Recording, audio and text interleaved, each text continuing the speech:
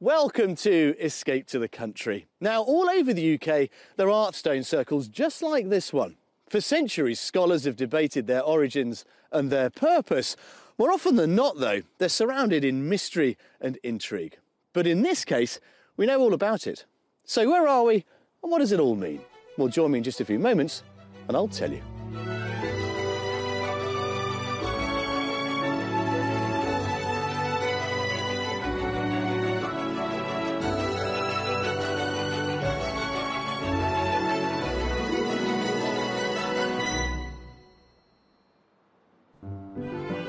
On today's show, we've been entrusted with helping two self confessed townies to finally find some rural respite. Well, that's Yeah. a bit special, isn't it? And though they struggle with the right vibes in one place, I'm not quite getting the feel. we could hit the jackpot. This is absolutely the real wow. Well, today we're in Somerset, and this stone circle is in the middle of Ham Hill, a local beauty spot towards the south of the county. Now, Ham Hill itself is an Iron Age hill fort. It dates from about 800 BC, but since it was constructed, it's also become a source for this gorgeous, honey coloured local ham stone. Now, the stone circle itself was put up at the turn of the millennium to commemorate the struggle and toil of all of those who've worked here over the last 2,000 years or so to extract this stuff. But it's the sort of story we shouldn't forget. Just imagine what would happen if, in a couple of thousand years' time, archaeologists of the future didn't know about it. They might think the circle was much older than it really is. Nestled in the southwest of England, Somerset is bordered by a number of counties, including Dorset to the southeast and Devon to the southwest, with its northern fringes meeting the Bristol Channel coast. Part of the imposing Ham Hill is now a 400 acre country park. Its underlying geology has provided the stone used to construct much of the county's distinctive architecture. Hinton St George is one village that exemplifies the beauty of this stone through its warm, ochre toned houses. But one of the county's most iconic landmarks must be the 500 foot Glastonbury Tor, which soars to the skies with the ruins of a 14th century church standing proudly at the summit. And it's small wonder that this remarkable terrace Tor has inspired spiritual speculation for generations. Now, despite the obvious gloom on the horizon over my shoulder, take it from me, Somerset is a beautiful county, especially when the sun is shining. And when it comes to house prices, well, they make for some fairly interesting reading too. At £263,000, your average property here is a mere 5,000 over the national average. Now, as with anywhere, of course, there are some places that attract a premium, not least the pretty little villages of Coombe St Nicholas and Hinton St George. But if you want a bit more bang for your buck, why not head south towards the Dorset border? There, around Yeovil and Ilminster, you'll certainly get a little bit more for your money. But this is certainly a place with something for everyone, including, of course, today's buyers. So let's go and meet them and find out what they're after. Retired postman Andy caught the eye of his partner Fiona in a shoe shop eight years ago. They share this three bedroom 1960s detached house in Haywards Heath near the south coast, but are looking for a new stomping ground to call home. We're both from the outskirts of London. And when This- we moved here, this was escaping Came- to the yeah, I was country. gonna say this was the country but then. now it, it's catching up. It's, it's almost like a, a suburb of London. It's a bit too busy now, It's- and we want to take that next step to uh, To get back to the country. in the country. So the plan is to swap suburban East Sussex for the wilds of the West Country. We particularly want to go to Somerset or Somerset Dorset borders because it's an area that we've known, we've been on holiday, um, it's quite close to friends and relatives, and uh, Not too far from the sea. Yes, which is so a it is big, a- a big yeah. plus for me. And there's another member of their party with itchy feet. We've got a, a fairly large dog, a flat-coated retriever called Toto, who uh, we got from a puppy. And he's a big dog, so he does. He quite enjoys, doesn't he? He needs a lot of exercise, so we need to find some more walks for him. We do. With four legs catered for, there are also half a dozen four wheelers that take top priority. My passion, as it were, are old cars. Although we have a garage here, it's quite small, it's quite tight, um, and I'm getting to the age where I can't contort my body well enough to get into the positions I need to. Obviously, when we move, we'll, we'll have to try and accommodate them. So a bigger garage and a, a bigger drive would be, and I'd be as happy as anything. For Andy, it's classic cars, but for Fiona, it's classy cakes. I spend most of my time in the kitchen. I love baking. I bake many cakes. I've done pop-up tea rooms uh, with a friend of mine. Unfortunately, at the moment, because I've got no pop-up tea rooms, Andy seems to be eating most of the cakes. My must-haves are definitely a fairly large kitchen. The garden we've got at the moment is nice, but it's a little bit small. So I'm thinking that I would like a little bit of a larger garden, so possibly grow a few, few vegetables, not a huge amount. Both Andy and Fiona have grown up children from previous partners, but this move represents a defining moment in their relationship. Well, we've been together for eight years now. We want to actually go somewhere on our own terms. We, we want to decide where we're going to live. Exactly, somewhere that we both want to live, And we- as opposed to just meeting and just continuing with life as it was. Yeah, and, and to incorporate retirement. So it's, it's a huge, huge mm, step for us. It is. All that's left is to find out the figure they're willing to spend on their new Somerset venture. The budget for this move would be 375, but if you found us an absolute dream house, we could probably stretch to 400. To stay connected to their families, Andy and Fiona would like good access to the A303, so we'll be concentrating our house search on the pretty villages in the south of the county, close to the border with Dorset. And it's in a peaceful Somerset spot where we're all meeting up to nail the finer details of their move. Hi, Andy. Nice to see you. Nice to meet you. Well, guys, welcome to Somerset, the land, they say, of the summer people. And although the sun is shining today, it is bitterly cold. It's Very freezing. cold, yeah. now, you spent quite a long time thinking about this ideal property. What's in your mind at the moment, Fiona? In my mind, roses around the door, pretty, in a nice little village, perhaps with a village pub and general store or something like that. Not too big, but we are essentially, I think, townies, so we don't want to be too far from uh, the main. That's not a phrase we hear very often. We're essentially townies. Um, but I, I know what you mean, and it's right to be honest about these things. We all need amenities after all. Um, but nonetheless, you're still keen on something, well, maybe chocolate boxy, I suppose. I am, definitely. You've obviously got quite a big extended family. How many bedrooms do you need? We've said three bedrooms. Three, four would be I mean, nice, four, but we can cope with three. But, yeah. So we don't really want a project, do we? A project, it depends, not a full restoration, but certainly we could take on some work. Okay, good. Now, let's have a think about money. How much does this whole endeavour need to cost you? Max mm, 400,000. yeah. Right then, well, let's head off into this land of the summer people while there still is a bit of sunshine. See if we can warm up. Come on. Look forward to it. Thanks. For a top budget of £400,000, Fiona and Andy are looking for a characterful property with at least three bedrooms and a large kitchen diner. Outside, they want a good sized garden and the capacity to house Andy's classic car collection. As for the location, they're ideally after somewhere a short stroll from a shop and the local pub. And I'm hoping that our lineup of textbook country properties will appeal to them. But I'll keep them guessing as to what each house is worth until the end of the tour. Then to finish up, there's the mystery house, which might be a little less sweet, but a lot more substantial. So, how do your family feel about this move from Sussex? Um, they're all very cool about it. My two children are older and, and off, off anyway. Uh, and my your three, are quite happy. I've also go for it, which is a nice, uh, nice situation to be in. And the whole whole idea is that the children will come and spend perhaps more quality time with us. Well, property number one is not that far away now. And as you've probably gathered, we are heading toward Dorset. We are.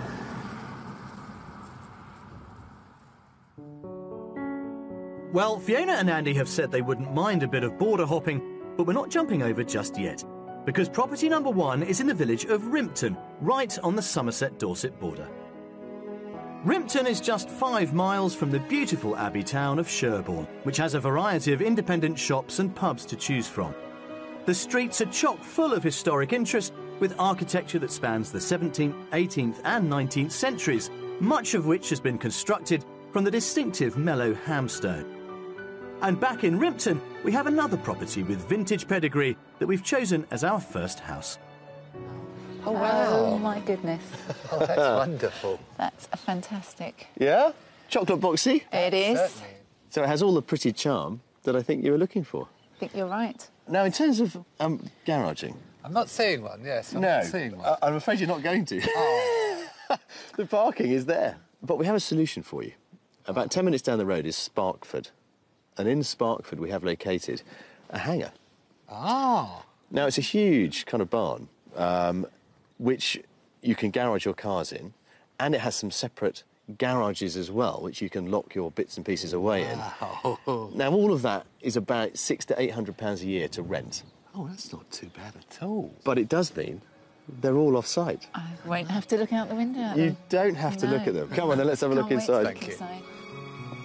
Thatched fairly recently, within the last seven years, this Grade 2 listed attached property appears to have all the hallmarks of a classic and cosy English cottage.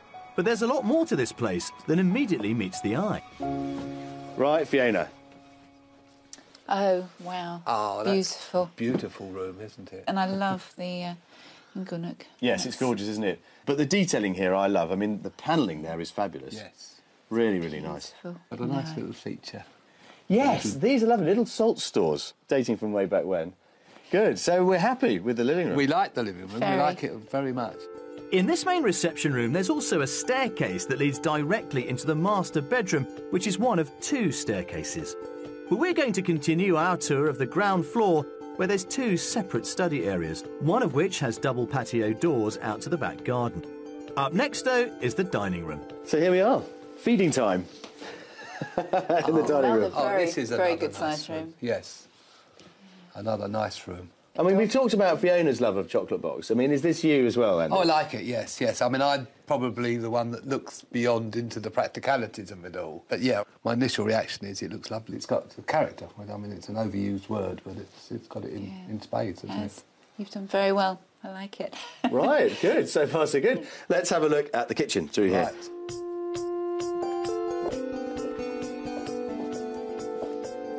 There you go. Okay, yeah, Yeah, this is a nice nice. size. Like the cooker. Uh, it's the way you said at home. okay that, that perhaps betrays your slight disappointment at the fact that it's not Not quite my big. farmhouse kitchen. Yeah, I mean, I like this bit where you've got the cooker. It's a question of whether you can work with this, given that you've got the dining room right next door. There's also a huge utility room behind us. So this is essentially just Yes, just cooking, for food really, preparation. Yeah. Yeah, right. No, it's yeah, not too bad. Not too bad. Not too bad. Come on. There are no compromises upstairs. Ah. okay. No, no. Look, this is the other staircase. Come and have a Oh, look. I see. This Look at is, this. This is the upstairs. Yeah. Come and uh, see. Oh, mind how you go. Yeah, more character Oh, yes. up here. Look at these oh, boards. These stairs are, are Wow. challenging. Now you've got three bedrooms. I. One double there, really nice vaulted ceiling in it. Oh, that's, yes, yes, Lovely guest room. yes. Yeah. Come on.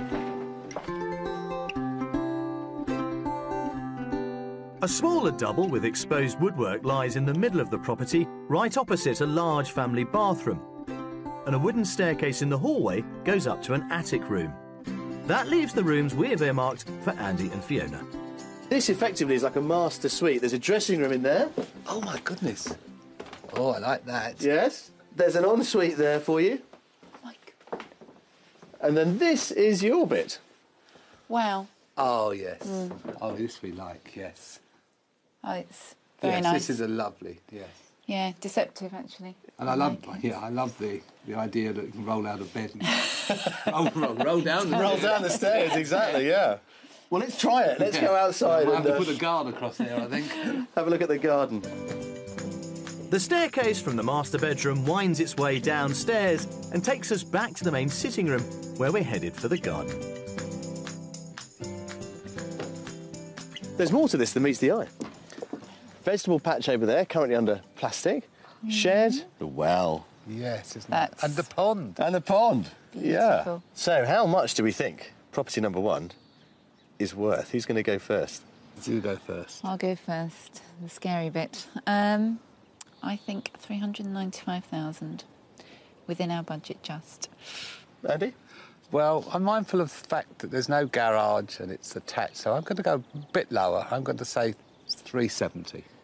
I'm hopeful, you see. You are hopeful. well, it's as well you are, Andy. Ah. Because this could be yours for 375. Ah. First blood to me. Really? Yeah. Go and have a look. Oh, Right. Off you Thank go. you. I'll catch Thanks. up with you later. Okay. There we are. Well, our property number one, our gorgeous thatch, has one word I think that is attached to it, and that is deceptive. This place is far bigger than any of us thought.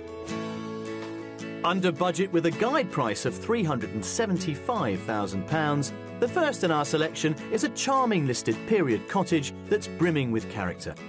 It comes with a generous sitting room, a large separate dining room, and the potential for four bedrooms, including a master ensuite. And outside, the level private garden already has an established plot for growing veggies.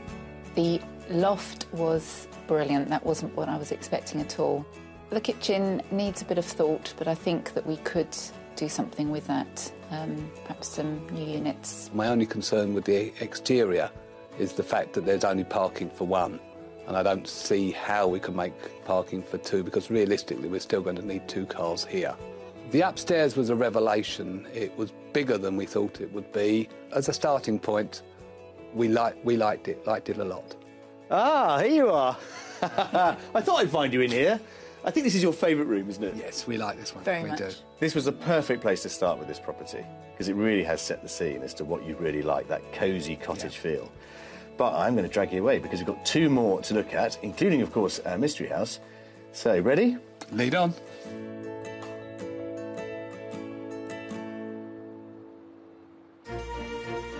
From ancient landscapes to ancient sites of worship, history surrounds you everywhere in Somerset. And nowhere more so than Bath, whose natural hot springs have cemented the city as a centre of recreation and relaxation for at least 2,000 years. In the 18th century, Bath developed into a highly fashionable spa town and still highlights some of the most impressive Georgian architecture in the country.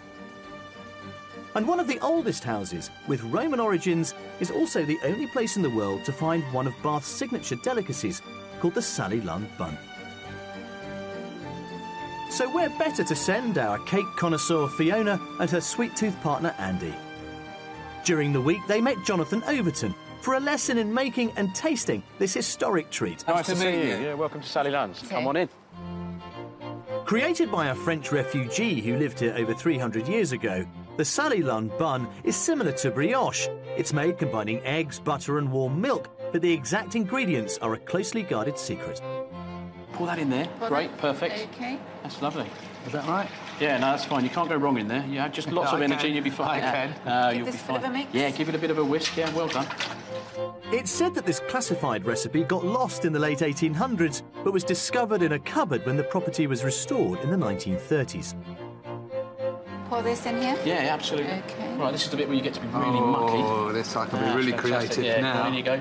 Right then, try not to get us all covered. Yeah, well done. Oh, give it a good. s- Ah, that's Glad doing fantastic. that bit. This is like sun poil. Do you want to get in there as well? I can Why get So why in don't you both have a go? Go on, get in there. Yeah. Yeah, that's fantastic. Gosh. How did the buns used to be baked before modern technology? Well, we've got a very special oven in the uh, in the cellars of Sally Lunn's house, which is called a faggot oven.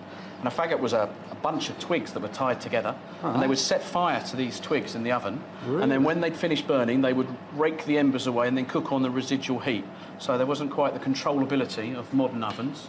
Um, so everything was a little bit more uh, Hit time consuming almost and a bit messy yeah. and a lot more smoky. I And certainly hotter. The dough is then weighed and rolled into equal sized balls, and after they've been left to prove, they're into the oven to bake. The bakery serves this unique light and delicate bread with a range of sweet or savoury toppings. Oh. Mm. Delicious. With a celebrated and unique Somerset recipe to add to Fiona's portfolio, it's time we return to the house hunt.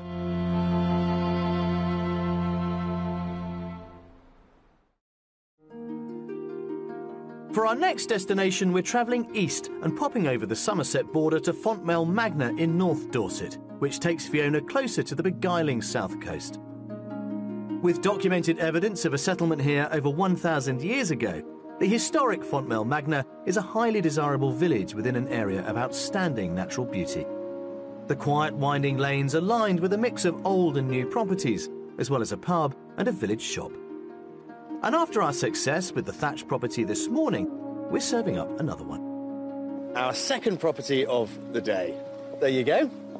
Very nice. Another thatch. It's another thatch, and it's also another semi-detached. Yep. Um, but this one does have a garage. Ah. and, you know, some proper off-street parking for you. Now, it's also a step forward, I think, in terms of the kitchen that's on offer. As you will see when we get inside, you're going to love it. Well, let's get out of this wispy snow, shall we? Come on. Let's go. Built in the 1800s with attractive banded brick and flint, as well as timber cladding, this is another surprising cottage. For beyond the classic frontage, at the back of the property is a contemporary oak framed extension given over entirely to the kitchen. There. That's what I was promising you. Wow. Oh. Yes. Now this is much more like it. Yes. That's Yeah. a bit special, isn't it? Yeah. Lovely, isn't it? Green oak. It's only about five years old. I do like, and I like the outlook as well. Yeah. Yeah. Mm-hmm. The island is movable, so you could actually have a great big kitchen table in there if you wanted to. Mm-hmm. No, this is quite exceptional. Very nice. Yeah. Now, but this is what I was saying. This bit is the wow factor. This, I think, is the part of the property that really sells it. What it really needs is this touch to be carried through to the rest of it. Right. Uh, and you'll see what I mean. But I think it's all doable. Mm. Most of it's just cosmetic. And it's underfloor heating. Thank goodness. Good. On a day like this, yeah. The modern kitchen extension has been added to the back of the original property via the main hallway.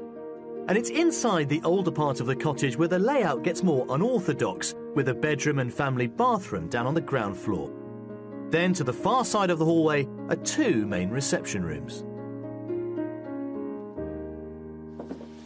Now, this is the dining room, as it's currently set up. Cosy. It is, but nicely cosy. Yeah, there's a nice little mm-hmm. sort of feature fireplace arrangement behind us there too, which you might be able to do something else with. And we've got this dual aspect going on right through the property, which is quite mm-hmm. nice. Uh, these lovely cottagey windows. So, you know, it's certainly got the right components. I think it's just a case, as I said earlier, of joining it up Yeah. with mm-hmm. what's been going on in the kitchen. And it continues through here into the living room. There. That's cosy.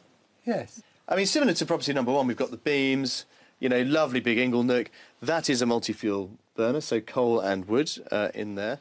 No, I do. I like it. It's just I'm not quite getting the feel.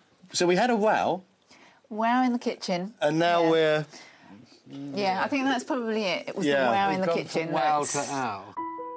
Apart from being lost for words at the start, we've now lost a crucial letter and our buyer's enthusiasm.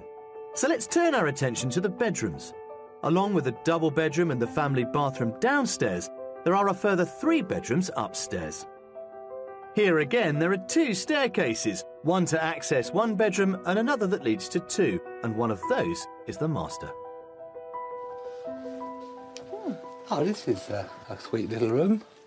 this is what we're thinking about for you. Okay, this is the Yeah, master. this could, Yes. could work. Uh, it's the biggest, it's the squarest of the bedrooms on offer here. Right. Uh, there's some built-in storage over there, and through that little door in the corner is a loo as well. Oh, Right. okay. And of course, you've got the bedroom across the hallway there, the landing, which Yeah, again might lend itself to a dressing room. it's growing on me. I think. Yeah. Are you being generous? This house is a tough one, as it does take time to figure out both the geography and the mix of styles. But now to figure out the price. Well, this is a nice place to finish up. Almost back where we started, aren't we? We are. Pretty much. Well, I thought we'd finish off here in the kitchen because although we need to see the garden, you can see it from here, and it's so cold outside. it's a nicer place to do it from. Okay, well let's um, let's move on then to the final stage of the process, which is, of course, what? How much? How much? Oh. Exactly. Now you had to go first last time, so Andy, over to you. I'm going to go for 410,000. Four hundred and ten thousand. Yeah, Fiona. I'm going to go for four fifteen. This could be yours for three nine five. Oh, right. Oh, Oh, so just under oh, budget. Oh, pleasantly surprised. Hmm. Check out that other staircase, and I'll catch up with you a little bit later on. Thank okay, you, we will. thank go. you. With an asking price of £395,000, our second property offers an intriguing mix of 19th century history with 21st century design and features a stunning kitchen breakfast room, two receptions, and four bedrooms. Then outside, there's the all important garage as well as off street parking. Oh, I think this is a female room. It is a bit different. Oh, this has got. Uh, And that oh, it's a bit like in the other one. the kitchen is beautiful. We really, really like the kitchen. Nice and light. Um, beautiful views over to uh, fields.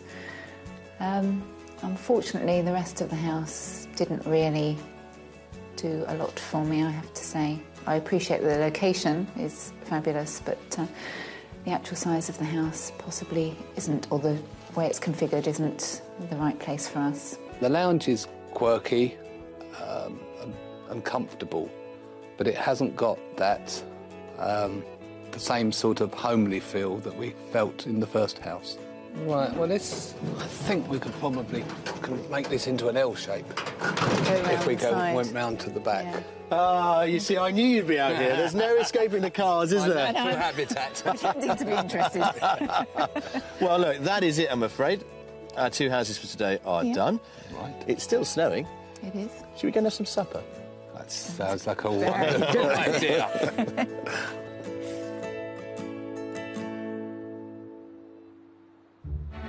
It's the second day of our property search, and with a budget of £400,000, we're helping Andy and Fiona to swap a suburban setting in an East Sussex town for the serenity of Somerset. Still to come, a sight for sore eyes in the Mystery House, Oh, those views are to die for. and I'll be trying some DIY medieval style. I don't think I'm going to do very well here, am I? Well, as we head off into our final day of house hunting, it is perhaps worth sparing a thought as to what happened yesterday.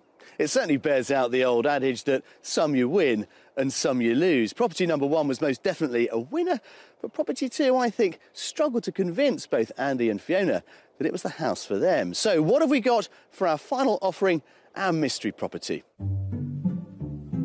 Our last stop takes us over towards the southwestern portion of Somerset, where we're destined for the small hamlet of Sticklepath within the shadow of the Blackdown Hills. And we're making an impromptu visit into the heart of the Blackdowns to give Andy and Fiona a little taste of what's on offer. It's amazing up here, isn't it? It's lovely. It's This overnight snow has made it rather pretty. like the enchanted forest. It's beautiful. This is what I wanted you to see. My goodness. Oh, that's stunning. Absolutely really special. Stunning. Really special. The hills themselves are an area of outstanding natural beauty, and they cover about 370 odd square kilometres. Mm. It's a huge area. It's a massive area. And, you know, with the dog and walking and having somewhere to just. Oh, it'll just be. This is Yeah, I think that would- ideal. The mystery house is down there. Oh. Really looking forward to it. Yeah? Yeah. Yeah. Happy? Very. Despite the overnight snow. Come on.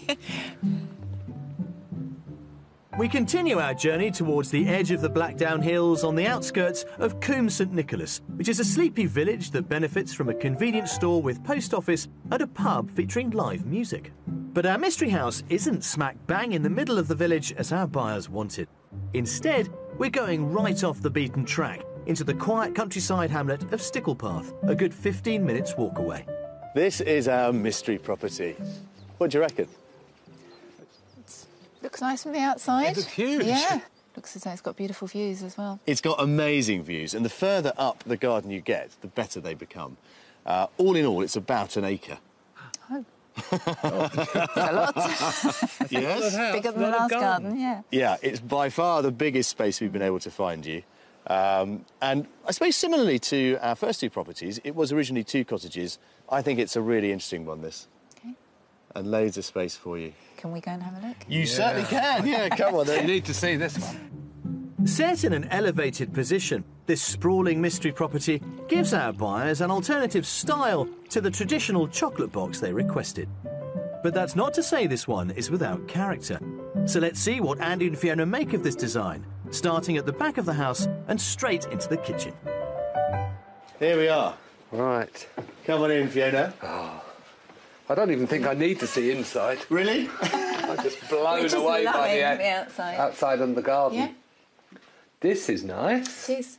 And as you can see, The it's all very kitchen. much, you know, done. You know, very easy, just Mm. Could move ready to in. ready to move into. Absolutely, yeah, yeah. Yeah, lovely. Good. Bit more space then. Come this way. Now this, I think, is a real winner. Oh, look. This is huge. Yeah? This is Oh my god, look. Oh, now that's what you call an inglenook, isn't it? Come on over. Oh, Wow. it's this is absolutely the Yeah. real wow. Actually, Yeah, yeah, yeah. Good. Well, I think our mystery house is pressing a few buttons, isn't it? I think it's pressing all the buttons at the moment. well, let's see if we can press a few more. Come this way. Down on the ground floor, there's also a large utility and storage room, as well as a contemporary shower room. But we're heading up to the first floor, where there's the perfect place to soak up the rural surroundings. Right, up here, we've got you this conservatory, which is roasting. Feel how warm it is, Oh, those views are to die for, aren't they? aren't they just? fantastic. Just see us sitting here, cup of coffee. Oh. Lovely. As long as those pictures are emerging, I think that's mm. the thing that really informs me. That... I'm never going to get any work done on the car. I'm just going to be sitting here with, drinking endless cups of coffee. but it informs me that a house is working for people, oh, Is it, yes? and that's great. If we can tear them both away from the views, the bedrooms are all on this level too. A bright, fully tiled family bathroom serves four bedrooms in total. There are two doubles, one of which is being used as a study, and then there's a smaller single bedroom, and that just leaves the master. And then finally, this one. Oh, this is nice. Oh, It this is is great. very It's nice. again, it's a Dual aspect. dual aspect. Yeah. Yes. Yeah, this is lovely. wardrobes, That's lovely. I mean, it's not en suite, but then you've got that really generous family bathroom. And you've got the shower room. And the shower room downstairs. And the shower room yes. Yeah, which is fine, absolutely fine. it's got far more of a cottagey feel up here, actually. It's really cosy, and waking up with that view I know. out there, I think really sweet, actually. This is Yeah. definitely a winner. Good, it's a winner. Hooray! Have we got a sale, I wonder? Wow. Have we got some buyers? oh, I'm a bit concerned about the price. Well, Mm. you should be. Yeah. Let's go outside and take in that garden and talk about the money, shall we? Okay, thanks. Come on then. Outside, the acre of grounds is mostly laid to lawn across various levels, with a deck terrace and a heated swimming pool. What's more, there's a large garage with off street parking, and the whole plot is enveloped by lush Somerset countryside. Yes, there we are. More stunning views. More stunning mm. views. That's yes, uh, yet another different view, isn't it? It's gorgeous, isn't it? So, how much then is our mystery house on the market for? I think it's going to be above budget. And as I've got the last two wrong, I'm going to go for 425,000. 425. I was going to say that. I think looking at it and looking at what we're getting, probably even more. I'm going to go for 430,000. 430. It was on the market at 475,000 pounds. Oh. But It's not anymore. this is now on the market for 399,950 pounds under budget. by 50 quid. God. Where do we sign? Where do we sign? I think this is a real steal, actually, for what you want. yeah. Absolutely. No, this is a stunner, and uh, a stunner at the price as well. This is our absolutely ideal house. It It is. really is. Thank Brilliant. you so You've- much for finding it. Well, now you're on with the price and feeling suitably inspired, you can go and have another look around. But I suggest you start up there, up at that five barred gate, and see if you can find yourself a bit of parking. Yes, that's where I want to go. Come on then. Come on Thank then. you. so much. Off you go.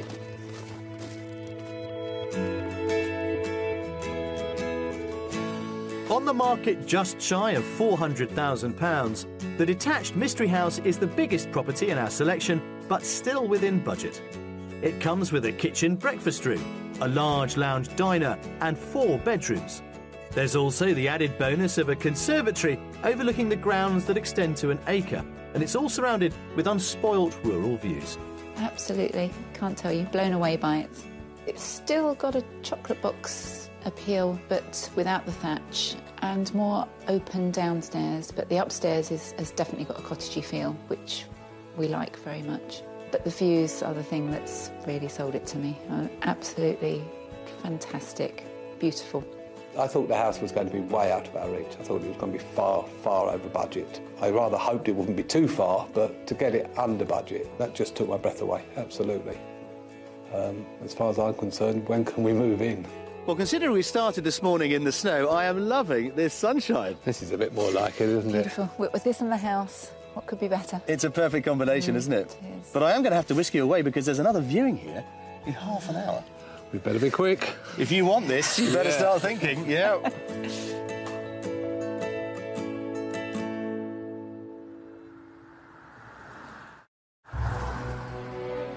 That signals the end of our house search for Andy and Fiona. But whatever your wish list or your finances, Somerset has a whole host of homes to choose from.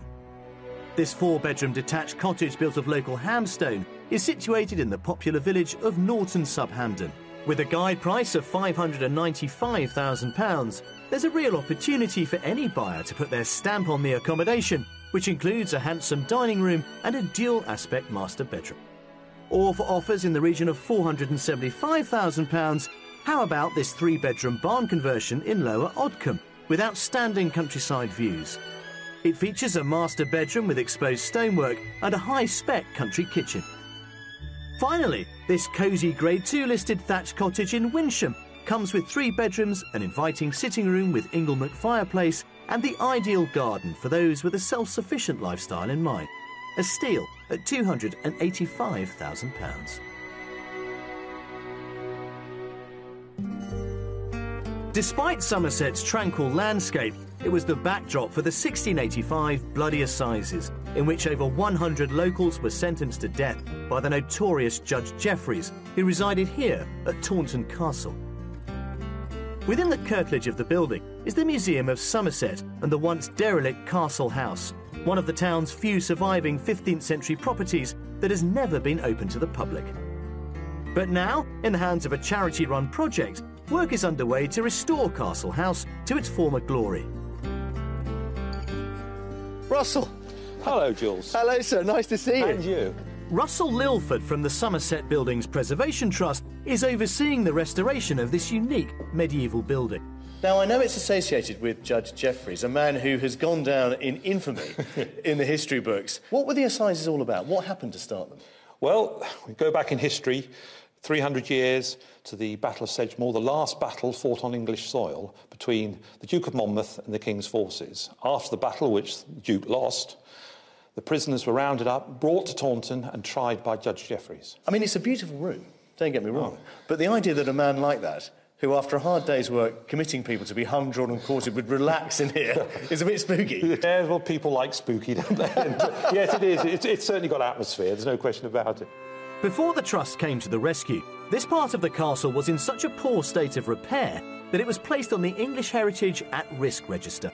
And what's this little feature down here? Well, this is absolutely fascinating, Jules. It was really an architectural feature which the Normans used to keep the evil spirits out of churches, so it was in the church doorway.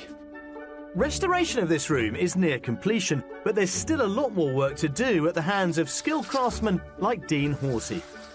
This is the real thing, isn't it? This is lath and plastering, as it was traditionally done, yeah. So a few bits of hair in there too. Goat's hair. Is it goat's hair? So this really is the, the real stuff. As it would have been. Yeah. Can I have a go? Seriously? Yeah, Can I really have go a go? on, please do. I'd love to try it. It's going to be the challenge. A lot of it is patience. Have a go. See how you get on. I don't think I'm going to do very well here, am I? You've got so much to do. I'm not sure I'm helping. Well, no, not really. But I am enjoying. on, keep I am going, enjoying the keep going. Practice. There are no quick fixes for a project like this, and sticking firmly to the ethos of repair, not replace, traditional methods are being used throughout. But it's hoped that the full restoration will soon be finished, with plans afoot to incorporate the ground floor rooms into the neighbouring museum. Well, this is a lovely view of the exterior, Russell. it certainly is. It's an extraordinary place. I mean, you've had to unpack so much about this building to understand it, and the story goes on. It does indeed. And what about those rooms upstairs that Well, saw? the rooms upstairs will generate enough income to maintain the building. They're going to be let to the Vivat Trust, who are a charitable organisation that let historic houses to the public. So you can actually stay in Judge Jeffrey's bedroom. Absolutely. That really is spooky. Castle House has had quite a role to play in the story of Taunton's history, And it's great to know that that legacy is now in safe hands and will be preserved for future generations. Now, Andy and Fiona are up there somewhere having a cup of tea and a well earned rest as they discuss everything that we've shown them this week. So, have we managed to find them their dream home of the future? Well, on this occasion, I think we might have done.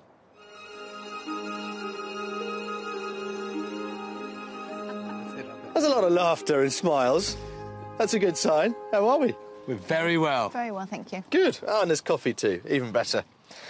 Well, we have explored quite a lot over the last few days, haven't we? And not just the local area and its housing stock, we've also explored what's going on in your minds as to what the future may hold.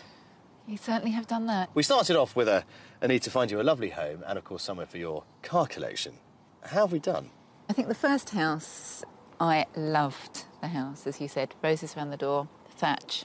Um, I think for you it was a bit more difficult. Yeah, I always had issues with the fact that there was no garage and the parking outside was very tight. We also knew, of course, that it wasn't just Somerset that was of interest. You were quite happy to go into Dorset. And so there we went for our second property uh, with that amazing kitchen. It was beautiful, yes. Yes, unfortunately, the kitchen just overshadowed everything else in the house. Um, the rest of the house basically couldn't live up to the kitchen. Yeah. Well, I have to confess, as we started out this morning on the snow covered Blackdown Hills, I was a little bit apprehensive as to what you would make of our mystery house, but it was all smiles, wasn't it? The sun came out. Yeah, it would just blew us away. We couldn't believe that that was the one house and that it was within our budget. Definitely within our budget. I mean, that's just amazing. So, what is it about our mystery house that you have fallen in love with? Absolutely everything about it. The house is is good for us, works well for us, I think. The garden was gorgeous and those views just unbelievable. and to have a double garage as well, that, so that really did put the tin hat on it. So, what happens next? I definitely want to go and see it again, um, and I think it's it's a real contender. Thank Well- you so much for finding it for us. That is our pleasure. I'm going to keep everything crossed for you. Well Thank done. you. Thanks.